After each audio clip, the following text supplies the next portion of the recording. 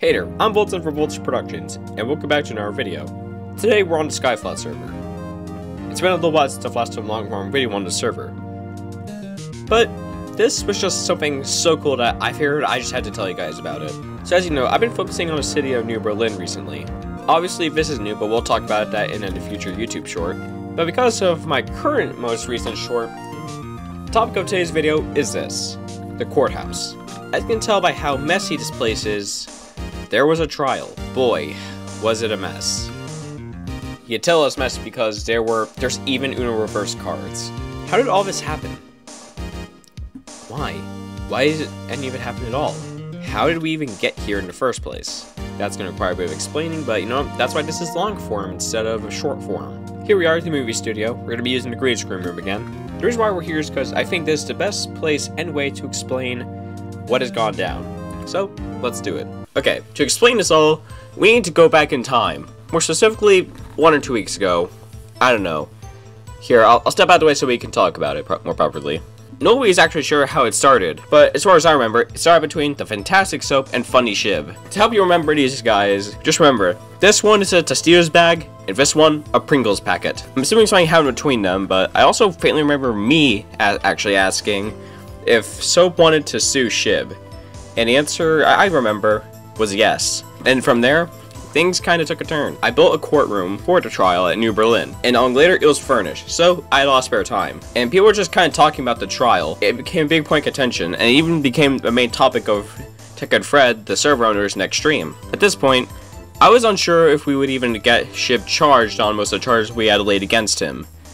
However, I had evidence for one of them, so if any of the current charges we had against Funny Shib failed, I would have a backup plan. However, things did not go according to plan. In the meantime, we were getting things sorted out on Discord. Eventually, the user of Buildingu, I had in his notes what he believed what the rules would be. And I thought it would be either me, Sean, or Soap, or a mixture of, of us on the prosecution, with Shib on his own at the defense. However, things took a turn. It was very short notice, I believe, but Soap actually switched to defending Shib.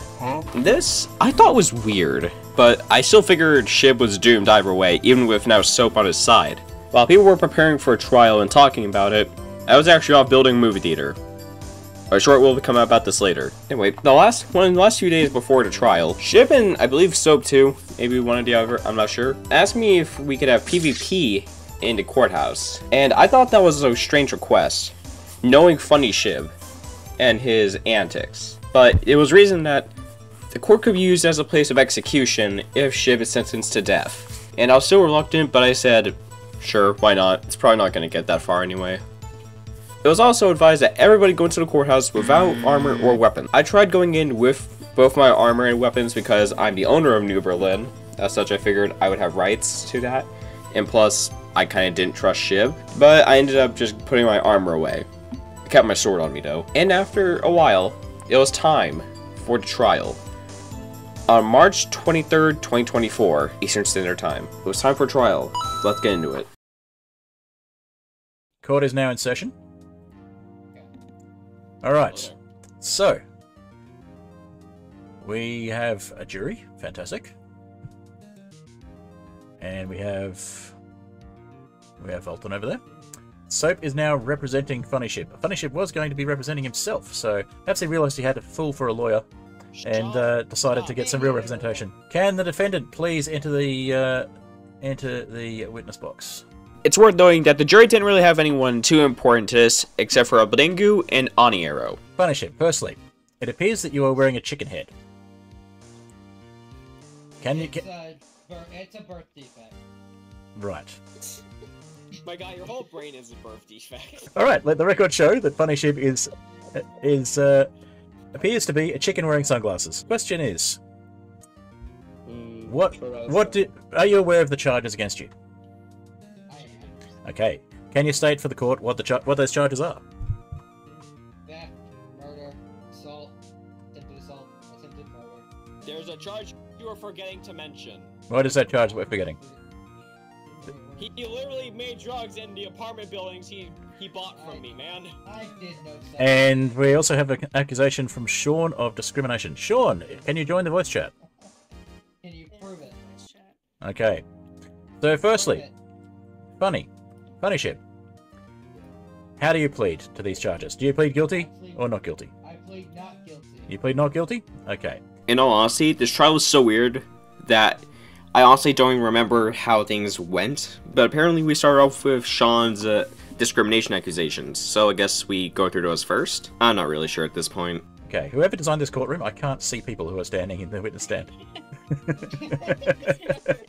so, was was was it the case that you were the only person you knew of who could not open those doors at the time we discussed this? Yes? Okay. Can anybody else corroborate this story? So, firstly, before I have to declare a mistrial, can the prosecution please start asking the witness some questions? So, if you if you don't start asking the witness some questions, I will hold you in contempt of court. I I am the, I am part of the defense. Uh, who, who is the prosecution?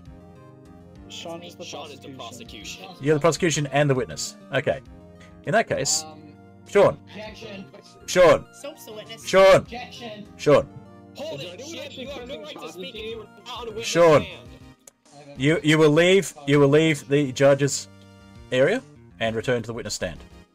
If you come up here again, I will hold you in contempt of court and have you thrown out. Order in the court. Okay. It's not like TV shows. All right. So, Sean, you've presented your evidence. Defense, your witness. So, defense. Do you have any questions for this witness? Do you have any counter evidence? Uh, not not at the moment, Your Honor. All right. So, evidence? I have evidence. I have, I have, um, I have evidence. May I present it to you, Judge? you may you may approach the bench. That is my evidence. Shib decided to be funny and use an Uno reverse card to try and flip all the charges onto Sean. However, this, this is not going according to plan for Shib, as the judge then directly asked me if, according to New Berlin law, that this was allowed. And I said no. So, the Uno reverse card was rejected and was not used as evidence. After the discrimination charge was discussed, the judge called a five minute recess. And during the recess, the judge had a vis comment on the uh, courthouse building. Also, somehow, despite the despite the uh, fact that the ceiling is made of glowstone, the lighting is incredibly dim in this courtroom. It's worth noting that the head juror of this case was Aniero. Aniero is the guy that just kind of delivered the outcome of votes held by the jury, and also occasionally delivered evidence. Here he gave the judge some evidence that was supposed to be used against Shib, however, it ultimately held no meaning in the end. After a closing statement for these charges, which took a little bit more time, the judge called us another 5 minute recess so we could get the next few charges all sorted. While that break was going on, I noticed a bunch of signs that the defense had left up, and this this leads me to something I think I should explain to you now. Whether it was both Shib or Soap, or one or the other, and maybe with an additional unknown collaborator, the defense was planning on killing everybody there. Let me explain. About one to two days earlier, I was in New Berlin working on the movie theater, as I mentioned. I, I noticed that the Fantastic Soap was nearby in the courthouse, so I flew over to see what was going on. And I noticed Soap was putting in dispensers behind the seating. I thought it was strange, but when I checked them at the time, in all the dispensers they had put down, behind all the seats, there was just two irons, so I didn't think it was anything too weird. I did not think it was for murder. I also didn't notice at the time, but not only had they trapped the jury and witness stands, but also the prosecution's desk, the defense desk, the witness stand, and even the judge's podium. All those areas were trapped. Later, I investigated again and noticed that there was now also a shulker box on the side of the, New Berlin Metro, which was full of stone bricks. I realized that they were probably using the stone bricks to try and hide the rocket system they had put in place underneath the courthouse. But I just thought nothing of it at the time and figured they wouldn't try to do that, right? Later, I was also again working on the movie theater when I got a message on the server from Blingu, telling me just, I know about the fireworks system. And I just straight up told him that the Fantastic Soap had put it there. I had nothing to do with it. In fact, I'd actually that I had seen Soap putting them in. I also realized that Sean also saw them and put up the signs, hoping that someone would see them. And thankfully, I saw the signs. So I realized now that I needed to save everyone. I also it made sense why earlier the Fantastic Soap had asked for had asked for everyone to not go in with weapons or armor. They want no one to go in with armor so that way they'd all die from rocket explosions. No one they didn't want anyone to have weapons so that way if there was any survivors, they couldn't use their swords on the defense or prosecution if they survived as well. and they want everyone to sit on the bottom row of the stairs so that way they'd all be hit by rockets and killed. It all made sense. So, when the break ended, I decided to do this. Your Honor, if I may approach the bench. You may. Let me just catch up on chat. Okay.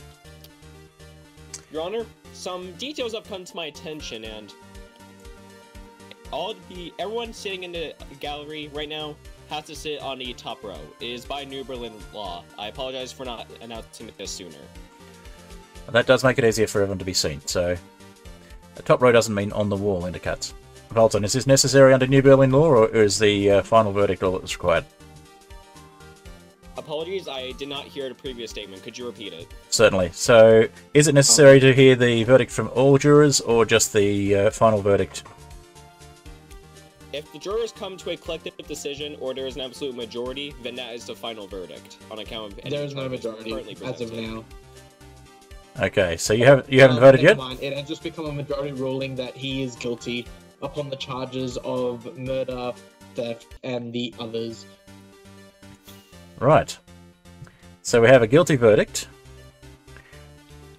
What it, what is the objection to the guilty, guilty verdict? This is this is highly irregular to have an objection to a verdict. Okay. On the charges of discrimination presented by Sean uh, to the defendant Funny Shib, we find the defendant Funny Shib guilty. We'll now hear evidence for the further charges. So for the charges of murder and attempted murder, and for assault and attempted assault. Your Honor, I will request a recess as to go grab my evidence. We've just had a recess. Let, let the record show that the defendant was not prepared for their own defense, and neither was the defense counsel. I wish to present evidence as a counterpoint to the charge of against murder. Evidence against the uh, the charges of murder. Yes. Very well. Approach the bench. You may. That is my head, Your Honor, slain by Soap himself. This is correct. Oh. Let the record show that Funny Shib was in fact killed by the Fantastic Soap. I believe at this point, Shib was trying to get the judge to call for a mistrial because at this point, he had been convicted of six out of the eight uh, crimes he had been accused of. So he had presented his head, which was shown to be killed by Soap, his uh, lawyer. So with this in mind, I think he was probably trying to get a judge call for mistrial or something because he argued that he was the victim, not the murderer. However, this, if you ask me, this just shows that at some point Shib was just killed. And we are not in hardcore mode, so we can respond whenever we want. Yes, Shib may have been killed by Soap once, but that does not disprove that Shib has killed others at some point. And he got his wish. The judge called for a mistrial and left. And as soon as he did, the defense started their attack. I think, and this this is just getting ridiculous. This is this is uh, not even a kangaroo court. So I'm just going to declare a mistrial and go and do something else because I'm completely bored. Thanks everyone for coming.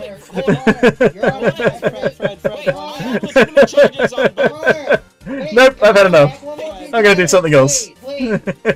No. Oh, Fred!